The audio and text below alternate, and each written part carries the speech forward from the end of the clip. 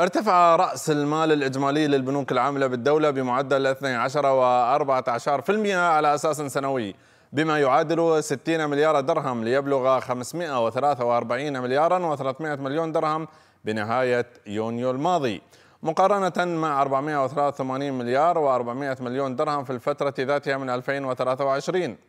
وكشفت البيانات الصادرة عن مصرف الإمارات المركزي أن رصيد القروض المصرفية المشكوك في تحصيلها تراجع بمعدل 10 و13% على أساس سنوي بما يعادل 5 مليارات و100 مليون درهم ليستقر عند 44 مليارا ونصف المليار درهم بنهاية يونيو 2024 مقارنة مع 49 مليارا و600 مليون درهم بنهاية يونيو من العام الماضي.